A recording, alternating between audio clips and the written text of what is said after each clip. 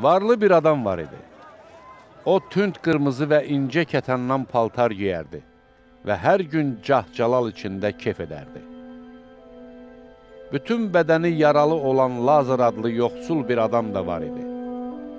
O varlı adamın qapısı ağzına gətirilib uzanmışdı. Lazar varlı adamın süfrəsindən tökülən qırıntılarla qarnını doydurmaq arzusunda idi. İtlər də gəlib onun yaralarını yalayırdı. Bir gün yoxsul adam öldü və mələklər onu İbrahimin qucağına apardı. Varlı adam da öldü və dəfn edildi.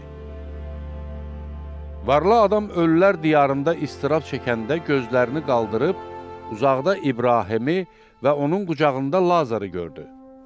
O uca səslə dedi, Ey İbrahim ata, mənə rəhm et, Lazarı göndər, barmağının ucunu suya batırıb mənim dilimi sərinlətsin. Çünki mən bu alov içində əzab çəkirəm. Lakin İbrahim dedi, Oğlum, yadına sal ki, sən öz həyatında yaxşı şeyləri, Lazar isə pis şeyləri almışdır. İndi isə o təsəlli tapır, amma sən əzab çəkirsən.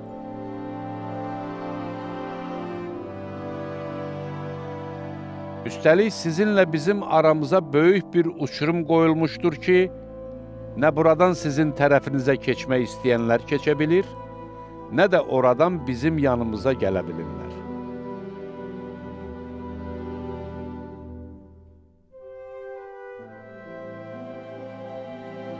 Varlı adam dedi, Ata, elə isə yalvarıram sənə, Lazarı atamın evinə göndər. Çünki beş qardaşım var, qoy onlara xəbərdarlıq etsin ki, onlar da bu istirab yerinə gəlməsinlər. İbrahim ona dedi, Onlarda Musanın və Peyğəmbərlərin sözləri var, qoy onlara qulaq assınlar.